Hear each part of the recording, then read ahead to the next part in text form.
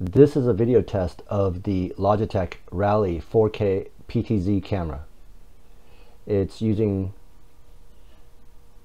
Motion JPEG 4K 30 frames per second right now because um, I can't support YUV uncompressed at 4K resolution. It would have to be limited to 1080p. Uh, unfortunately, the latency is about 500 milliseconds, so I had to delay the audio 500 milliseconds to get lip sync. Um, this is a uh, also a green screen test, so I'm going to go ahead and flip to the green screen. Uh, so that's just an artificial wallpaper background right there. Uh, it's good enough to do green screen for 4K, uh, especially if you're going to sample down to 1080p uh, or looking at it on a smaller monitor. But um, it's pretty good for what it is. Uh, let's see. Let's do a quick hand test.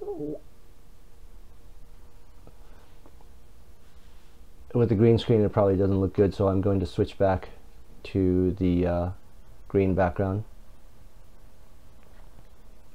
And as you can see, the corners are slightly uh, lens distorted, which is uh, pretty normal for this type of a lens.